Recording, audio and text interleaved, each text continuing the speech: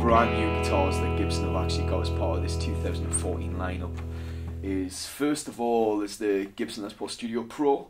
Um, what we've got, unlike the regular Studio, we back to a full gloss finish, mahogany body, maple cap.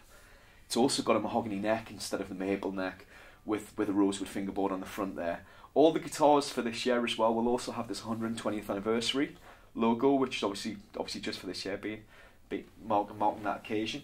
You've also got Kidney Bean Grover tuners on here. It has the modern weight relieving, and whilst it, it, it has more timber taken out than the nine hole weight relieving that you get on some of the other models, it does obviously you get it's reducing the weight of the guitar a little bit more, and it's not affecting the tone as much as the old weight relieving used to do used to do on there.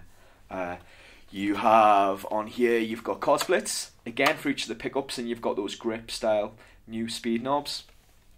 And one cool little feature they're doing on this instrument as well is that you have a they have a hotter, more modern sounding Burstbucker Pro in the bridge position here, and in the neck position we have the 57 Classic, which is your more traditional, slightly hotter than a regular PAF style pickup, but a much more traditional sound. So you've got the best best of both worlds there. You've got a hotter hotter pickup in your bridge position, a softer, warmer sounding pickup in your in your neck position there, and if we're going to the Classic.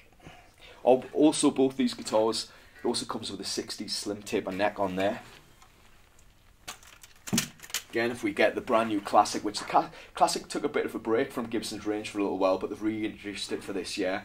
So again, just as I've said, it has that 60s slim taper neck there, mahogany body, mahogany neck, rosewood fingerboard.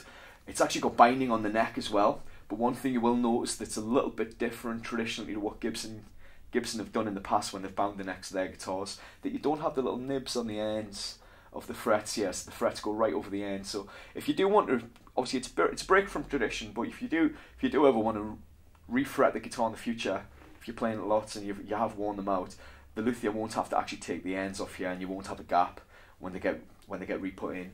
Uh, you've also got vintage style tuners. We've got a pair of 57 classics in here, so you've got that great vintage tone.